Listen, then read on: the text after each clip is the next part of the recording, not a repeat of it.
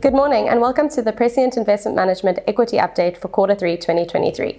My name is Sam and today I'm joined by our CIO Bastian and our Head of Equities Cecil. So today we're going to be discussing some of the key themes that we've seen come out over the past quarter, as well as diving a little bit deeper into our portable alpha strategy. So Basti, starting with you, can you give us some insights into where we are in the global growth cycle and give us some predictions for the rest of the year? Do you think that there's a potential for an upswing in equities towards the towards the end? Yeah, Sam, thanks for having me and thanks for everybody for joining. Um, definitely so. The last couple of months have been very, very encouraging with very strong economic growth, upside surprises in economic growth, which is always good for markets. We have partly priced for that already, so hence um, an equity from equity rally into the year end from these levels is not always that easy. But uh, you are right that we have seen a lot of strong global growth. Okay, so let's start by looking into um, global macro and uh, economic growth in detail. So we use the Prescient economic indicator to understand global growth in real time. We've spoken about that all our webinars previously. Always look into that. And what we really want to focus on here is the more recent past, where we can see that, um, yeah, the US economy in this instance did experience a little bit of a rebound back to almost trend growth. And that is very, very good because trend growth in the States is between 2 and 3%. Hence, we would not be fearful that we are heading towards a recession. Um, just to reiterate what the Prescient economic indicator is made of, um, always speaking about it, but never really drilling into the inputs. So that's something we want to do today, um, just in one or two of them. As said, we process uh, more than 110 million data points every day at Prescient, and quite a few of those actually find their way into the Prescient economic indicator. Um, I can just unsplit, for example, industrial production data, and you can see that those are all the time series which we would be tracking. And uh, we can do the similar story for like other real economic variables. So it's a very, very broad array of economic data which we apply, which we scrutinize to understand where the economy is going in real time. If I scroll down and translate that now into GDP growth, as said, it links to roughly two and a half to three percent real GDP growth, which is still very encouraging. So Sam, as you've seen, just generally a lot of indications hinting that we will continue to see a little bit of more growth and that this recession which we've been talking over uh, talking off over the last couple of months is really not around the corner yet.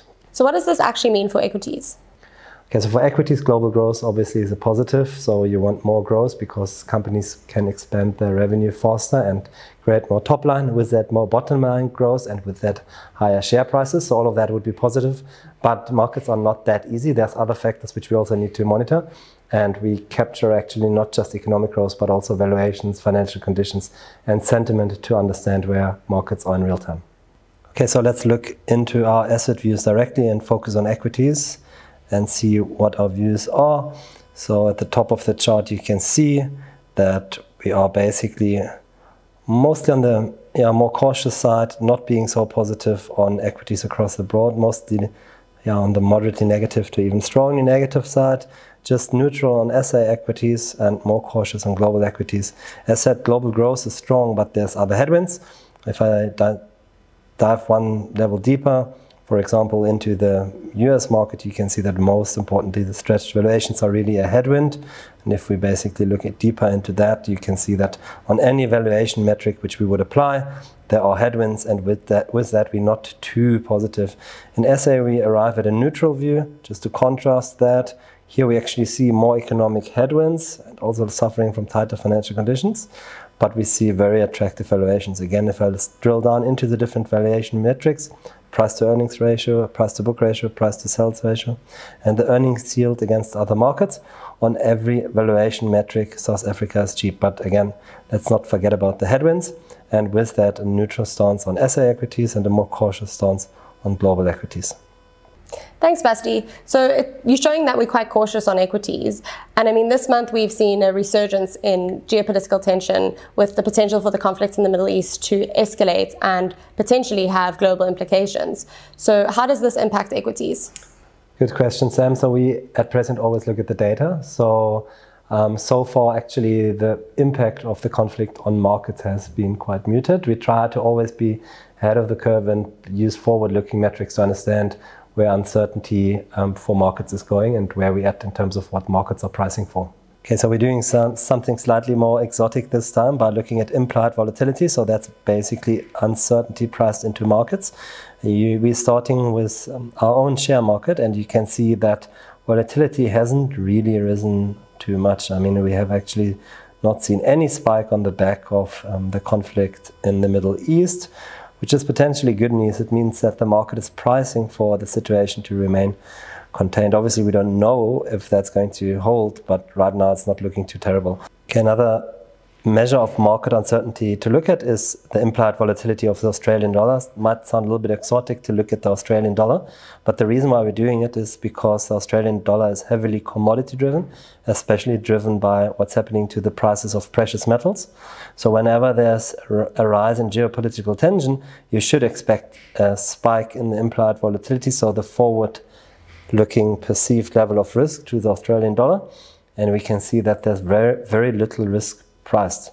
So the implications of the conflict in the Middle East for markets at least has been muted so far. Thanks, Basti. That's a really interesting way to quantify uncertainty. So we've spoken a lot about inflation in the past, so I want to focus more on the Federal Reserve. The market is really starting to factor in this higher for longer stance. So when can we expect to see the Fed lower rates? Yeah, that's a good point. We have really totally priced for higher for longer by now. Um, the Fed still is slightly more hawkish than than what the market is saying, but you are right. The market has anticipated rates to be at least higher than previously anticipated. It's still anticipating cuts, but um, not so fast and not so many of them anytime soon. So as always, we like to look at market pricing in detail. The red line is the current effective Fed fund rate, so basically where interest rates are set, short-term interest rates, i.e. the risk-free rate, are set to be. And then the dotted blue lines are basically the pricing of where the market sees interest rates to be. And you can see that we are still anticipating some cuts, but these cuts have now been pushed out all the way down into the next year, actually the second half of next year. Let's see how that looked a month ago. Not too different. So we had the anticipation of I don't want to call it half or longer rates there already, but you can see that we were still priced for much more cuts. But the true gap opens if we look at six months ago, where you can see that we were priced for much, much lower rates and much, much lower rates also being realized much sooner. I mentioned the Fed. So how does the Fed see this? So let's bring in the Fed's median dot. So that's the median of all the Reserve Bank governors to estimate where rates are going to be. And you can see that the FOMC is telling us that over the long term, this is just basically where the Fed anticipates the long-term rate to be, um, similar to what the market is saying. But the gap comes into play when we look into the one-year dot, where basically the Fed is saying at the end of next year, we'll have probably just one cut, while the market is telling us there will be roughly three cuts. So it's not that big a mismatch anymore, but that's where we see the risk that we continue to price upwards in terms of high rates staying higher for longer. Okay, so we've spoken a lot about interest rates right now. What people now tend to forget, uh, because we're always speaking about higher for longer, is that we also need to look at the balance sheet of the Federal Reserve because there's something interesting happening here. So if you look at the balance sheet of the Federal Reserve, you can see on the right hand side of the chart that we have actually reduced the size of the balance sheet by a trillion dollars. So that's basically yeah, almost one QE reversed, or at least one round of QE reversed. So a lot of quantitative tightening has already happened. And the question is here always, obviously also, how will that um, feed through to interest rates? Like when will the Fed slow the unwinding of the balance sheet down? It's just important to focus on that as well because we always speak about inflation, inflation, and higher for longer, which are obviously the definitive drivers of interest rates. But the size of the balance sheet truly also measure, matters when it comes to measuring financial conditions. Thanks. So the conversation around global interest rates really does lead quite naturally into our portable alpha strategy. So if we look at global expectations and this higher for longer stance, and rates do stay elevated for longer than expected, what does this mean for the performance outlook of our Prescient equity funds? For Prescient equity funds, higher interest rates are actually good. So for any portable alpha process, you actually want higher rates. It's very hard to explain in detail, we generally don't like when rates are going up because it means we take a knock on the price because there's duration in our strategies. But once rates are high, that's ex exactly where you want to be because you, first of all, you've got an outlook for rates to come down again, which will then massively push performance. And even if rates wouldn't come down, and we would, as you suggest, have rates to stay much, much longer for a prolonged period of time, we keep on earning these higher rates against a much lower funding spread. So actually great environment for our portable alpha strategies to be in. It's tough when interest rates go up, but it's very attractive when interest rates are high. Thanks, Basti. So before we go into the intricacies of our portable alpha strategy, let's take a look at the equity market as a whole. So are there any key notable um, themes or um, highlights that we haven't spoken about yet that will impact equity markets? Yeah, quite a few. I mean, we spoke about um, the conflict in the Middle East already, which actually, in fact, um, didn't really move markets that much. China has been a big story earlier this year, and then obviously interest rates being higher for longer. So those are the key drivers. But again, it's a good way to look at it is would be once again to look into volatility. Okay, so we're looking at a, a heat map, so to say, of three months implied volatility. On the y-axis, you can see all the different indices um, which we track on the equity side, and on the x-axis you see different levels of moneyness, which is basically different, different levels of where the market is pricing options. And then the numbers which you can see here are basically ranged from 0 to 100. So 100 being highest level of implied volatility, i.e. highest level of uncertainty, and a low number would be a zero, basically, or close to zero would be a very low level of uncertainty. And it's quite interesting to look at it this way when it comes to quantifying uncertainty around equity markets. And we're going to start in Europe. So look at the first three lines, that's the Eurozone. So we're looking at the Euro Stoxx 50, but that's also directly into the equity indices in France and Germany. And you can see numbers are quite low actually, which speaks to the fact that from a market point of view, the focus on the Ukraine war has actually, um, yeah, I don't want to say disappeared, but been priced to a much lower extent. So people are far less worried about Europe right now than they've been earlier in the year. Interesting is um, the index here, the Hang Seng, which is basically tracking China. You can see elevated numbers here still. So basically high levels of uncertainty, meaning that people are, are still worried about China. Interestingly, we see actually higher numbers on the right-hand side than on the left-hand side, which means that people are not just worried about downside in China, but also starting to bet on a rebound. So we found that quite interesting as well. Um, so Sam, you can see that I'm trying to basically go through the themes here from a more quantitative point of view. And then technology, obviously still uncertainty around technology. You can see that um, the NASDAQ is priced for elevated levels of volatility. Now you could say that um, there's generally more uncertainty in the tech sector. That's not, well, that might be true, but um, that would be eliminated in this chart because we range bounding the historical volatilities of this index through time. And you can see that the higher numbers here on the downside, so people worried about the downside on the NASDAQ. And then here we've got SA, where there's also still an elevated level of volatility, which is just linking us to global emerging markets. Um, again, then Switzerland and the UK, which is more linked to Europe, we see lower numbers. So the uncertainty is actually grouped around um, China still, emerging markets, potentially technology. And that's also where we basically focus on when we are looking into analyzing themes, analyzing markets more from a thematic point of view. Thanks, Basti. So now, so turning to you, how are these dynamics reflected in the positioning of the cover assets within our Prescient core global equity funds, both in developed and emerging markets? And have there been any noteworthy changes to our global um, equity portfolio this quarter? Okay, yeah, thanks, Sam. And um, yeah, thanks to our viewers for tuning in. Um, so, as Basti mentioned, um, the sort of rates being higher uh, for longer is actually quite good for our portable alpha strategy. Um, and looking at the global space, um, the opportunity set, obviously, when rates are high, is is uh, is a lot more uh, in terms of being able to generate portable alpha because we have uh, a lot of assets in the uh, global space that we can use that are exhibiting higher forward yields.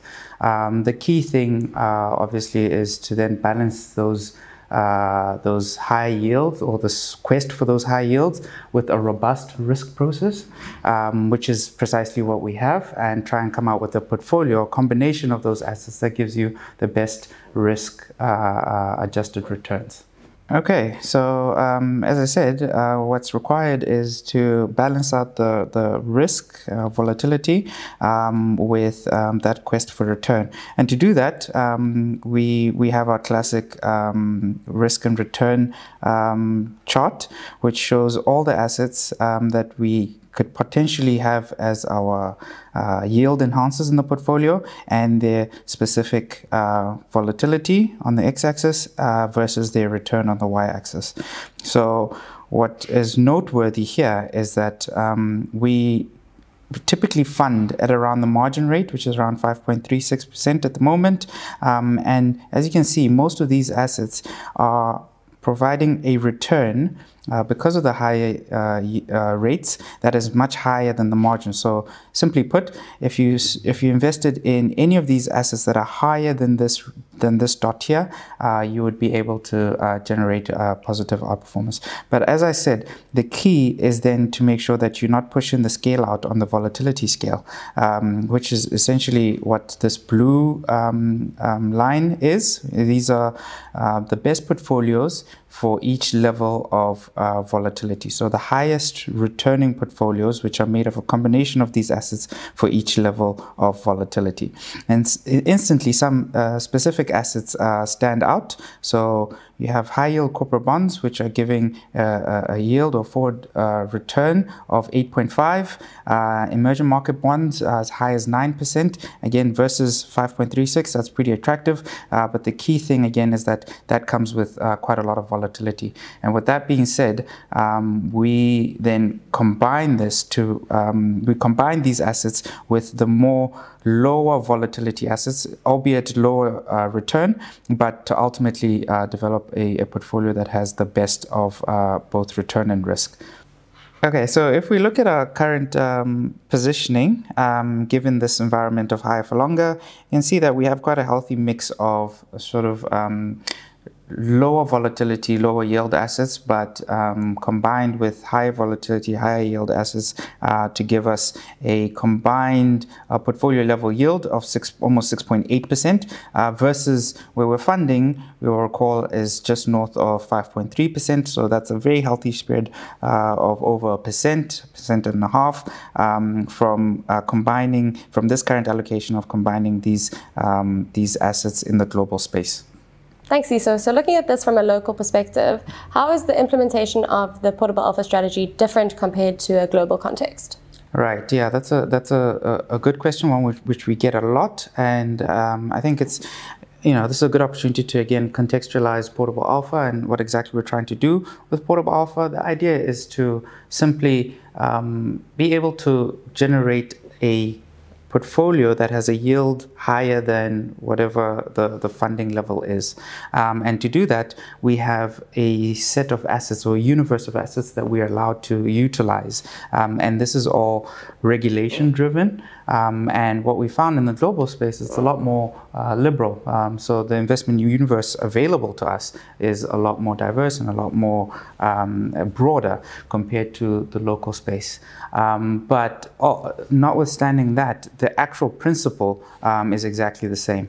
Um, it's simply the, the, the, the environment, uh, the legal regulatory environment that, that is, is nuanced. So in the local space, for instance, we have to abide by uh, the CISCA regulations. We have to abide by the Pension Fund Act Reg 28 uh, regulations, which are slightly different to the global space where we're of course governed by UCITS, but essentially trying to do the exact same thing. So it's safe to assume that the dynamics that influence the strategy are the same when you're looking at global and at local. Yeah, that, that, that is. I mean, from a uh, macroeconomic perspective, uh, the dynamics um, of high inflation, higher rates uh, will, of course, influence your um, your fixed interest instruments exactly the same way as um, as it is in the global space. Uh, and if we look at uh, locally, um, show a, a chart uh, similar to what Bastian showed, but just in the local space uh, to see what the local market is pricing in for rates. Okay, so if we look at the, the local landscape, um, particularly what uh, the market is expecting for interest rates, it's a very similar chart to uh, the chart that Bastian showed uh, for the US.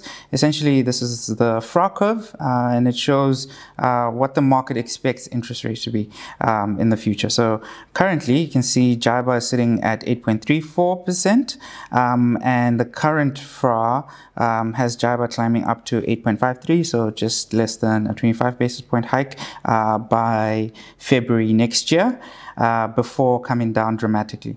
So higher for longer indeed, uh, so similar to the, to the global space. And if we look at how this has changed, um, it's a lot more pronounced than in the global space. So you can see a clear repricing uh, or shift of expectations um, upwards uh, compared to what it was a month ago, and even more so uh, compared to what it was uh, six months ago. So again, from portable alpha perspective, um, rates being high, uh, good for the strategy. Uh, rates getting higher, uh, quite painful, um, but um, we're happy to have the higher for longer dynamic, um, similar to the global space, uh, with cuts um, priced in next year, as this is quite favorable for our portable alpha strategy and our positioning. Thanks, Cecil. So given this, where are you currently seeing opportunities and how, can the, how are those going to be translated into the portfolio? And what can investors expect to see from performance going forward? Right, right. Um, so yeah, I mean, when we think of opportunities in the in the in the local space, I mean, the first place to start would be to consider whether we want a fixed or floating rate instrument. Um, and uh, depending on what the data is showing us and the likely trajectory of uh, interest rates, um, we'll either go um, tilt the portfolio towards fixed rate instruments, which of course adds a bit more um, term risk or duration risk. Um, or if we, we, expect interest rates to remain relatively flat, then uh, and de-risk the portfolio a little bit, we'll go more floating. Um, currently, as to the second part of your question, where are we seeing opportunities? We, we have a mix of both fixed and, and floating rate instruments that is slightly skewed uh, towards the um, the floating rate instruments, um, and again, that's that's just given um, the likely trajectory and the conviction um, of uh, where interest rates are going to go. Um, and then finally, on the last one, what can expect invest, investors expect? Uh, from the portable alpha strategy. Um, so we obviously uh, are trying to um, have the highest amount of yield relative to our funding costs, and we can actually look at that quite comprehensively um, with with this chart. Okay, so if we are discussing what uh, investors can expect from the portable alpha strategy, um, we can have a look at this chart. What this shows is the relative performance, i.e. the portable alpha over and above what the equity markets have done that has been realized till the end of um, end of July. And this has been in an environment where JIBAR has followed this path here. So it was 7.45, went all the way up to 8, and now it's sitting at 8.8.4 um, and, and, a bit. Um, what we what this tool allows us to do is to take the current mixture of our portable alpha assets and um, assume that JIBAR follows this path, which is exactly the path that is implied by the forward rate agreement curve, the FRA curve that we just looked at. And this allows us then to see how much portable alpha what the outlook is um, or what can be expected um, if the, the market simply follows what is priced in. And if we do this, you can see exactly, and I'm going to switch these off, you can see exactly how the the path of portable alpha is expected to go like for or over the next uh, 12 months if we hold the exact same cover assets, the same assets that we have now, and the market dynamics play out exactly as as um, as priced in. Uh, a few noteworthy things here. So you can see over the last quarter, despite uh, most uh, markets on an absolute basis uh, pulling back over the last quarter, um, the Prescient equity funds have actually managed to generate um, performance over and above that uh, equity market pullback, uh, thanks to portable alpha and this recovery. And you can see if we look at uh, 12 months out, we're expecting over a percent uh, from the portable alpha strategy, um, given the current positioning um, and what is currently being priced in. Thanks, Cecil. So just to finish off, let's focus on the realized performance um, of the funds. Uh, can you give us some insight into how the prescient equity funds have performed comparing to, compared to their peers? Yeah, yeah, yeah. Um, that's a great question, and it's always great to talk about uh, expected performance. Um, but um, yeah, if we look at the, the, the, realized performance, the historical performance, the funds actually held up quite well, um, despite, um, like I said, um, there being quite a bit of uh, volatility uh, in the markets uh, and shift in expectations. on the portable alpha side, we've actually been able to add value, uh, particularly if you look at uh, over the last quarter. And of course, how this compares to peers is that we the portable alpha strategy is or, the return from the portable alpha strategy is on top of what the equity market does. So um, the whole process is uh, based on delivering uh, equity market returns so whatever equity market index we're looking at and then uh, having this uh, additional performance from the portable alpha strategy.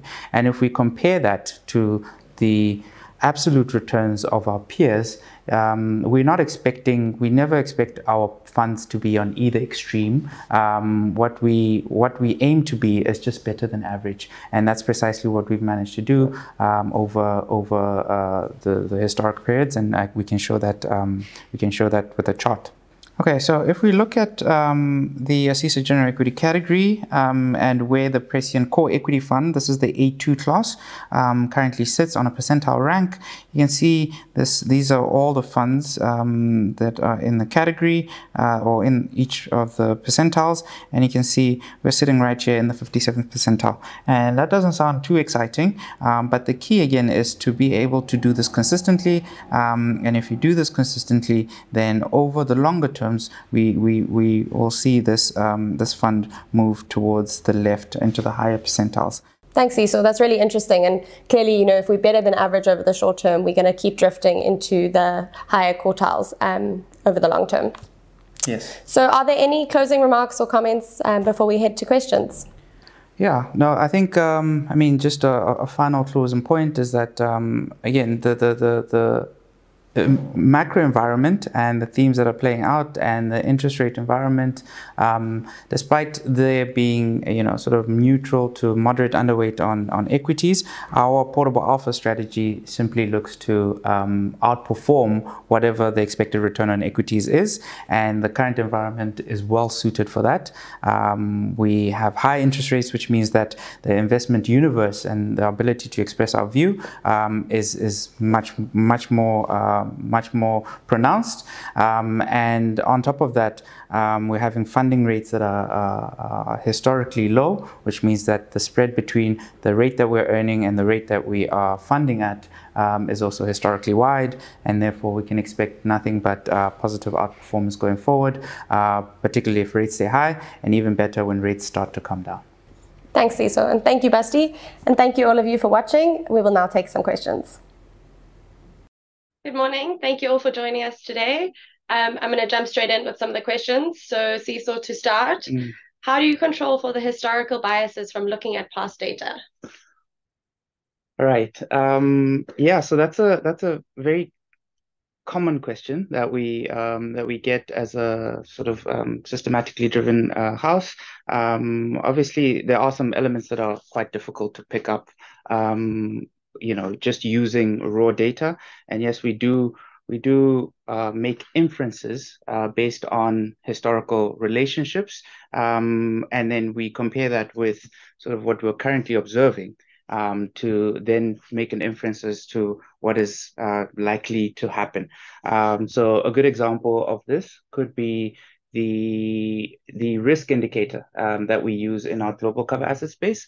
So You'll recall uh, from from um, the chart I showed earlier, where we have the risk and return, and we put all the cover assets on on that chart, um, and then we draw an efficient frontier um, in order to sort of determine how much risk or how much to push out uh, on that efficient frontier. Uh, we have uh, quite a robust risk uh, uh, indicator, and the purpose of that is to do exactly that: is to try and use uh, historical information and inferences relationships um, and marry that with what we're currently observing, um, and then and then make an informed decision. So that that indicator looks at the overall level and um, the slope of credit spreads. So uh, are credit spreads high and are they getting higher or are they high and coming down? And then based on historically what have the, the, the, the relationships have been, uh, we then um, marry that with the current pricing and then uh, choose an appropriate uh, cover asset portfolio. So all that to say that um, you know, yes, we are looking at historical data, but we're also marrying that with what we're currently observing to make to make a decision. Thanks, Cecil. So, when measuring uncertainty using market data, mm-hmm. how reliable are the quantitative metrics used to determine volatility? Right. Yeah. So I think I think this question is sort of tied back to um, you know the the discussion that Bastian was having with um, looking at um, current uh, implied volatilities. I think he showed there that um, um, if you look at the implied volatilities on the local market or the uh, Australian dollar um, on the back of sort of the geopolitical tensions, um, that everything that, that we haven't seen a spike so um, in terms of reliability, um, I think the the key thing to consider about that is that these are all forward looking. So when you think about uh, implied volatility, it is what is currently being implied in the pricing that you're seeing. Um, so what can you expect uh, volatility to be going forward? So that makes it um, incredibly reliable because it is it is a forward looking metric. And um, moreover, if you compare it to um, times in history where uh, there's been a definite spike in volatility and you look to see what that metric has actually done.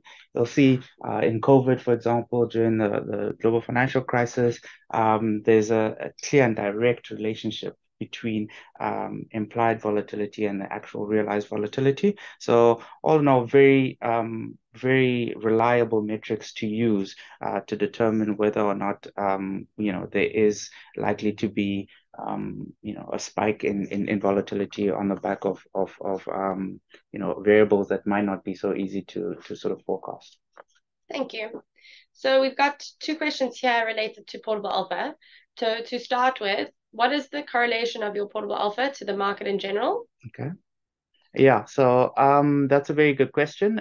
The idea of portable alpha is that it is an uncorrelated source of uh, return, i.e., it is not supposed to have any correlation with the actual market. So if you look at uh, whether equity markets are up um, or down, we expect to be able to generate portable alpha in in either of those scenarios. Um, that's that's that's the whole point because it is derived from more the fixed income, short term money market space, and because of that, um, we have very little correlation. We actually have a chart um, showing on the um, on the y and the x axis the portable alpha on a monthly basis, and then on the on the other axis showing what the equity market has done. So and what we see there is just it looks like a you know a shotgun shell. Um, there's no there's no correlation in any way, um, and that's precisely what we want from this uncorrelated source of return that you can put on top of your equity market um, equity market beta. Thanks. Um, and then lastly, on the portable alpha side, why do increasing rates hurt the strategy when there is supposedly muted duration in the short-term cash assets that are held? yeah. Okay. Yeah. So so fair question. Fair question. So um, the whole idea is to have um, you know we're not we're not long on duration um, in the cover assets um, space um, beyond regulation.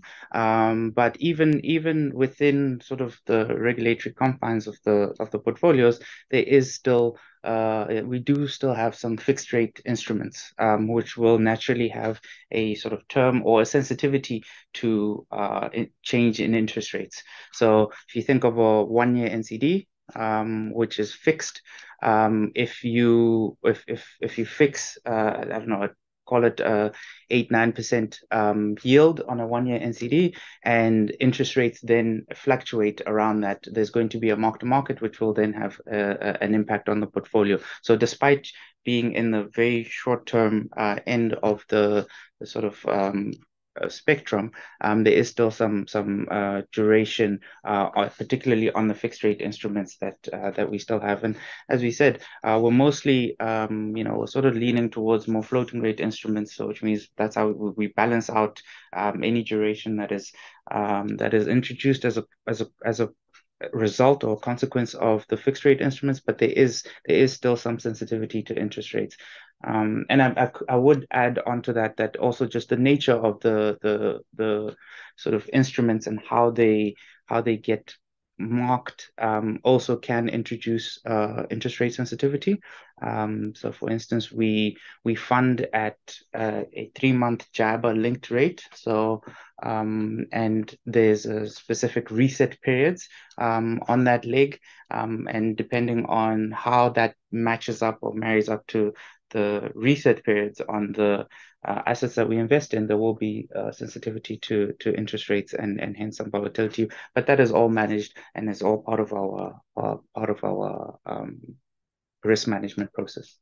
Thank you so much, Seeiso. Yeah. Thank you so much to everybody who joined today. I will will hope you have a great day forward, and we'll see you soon.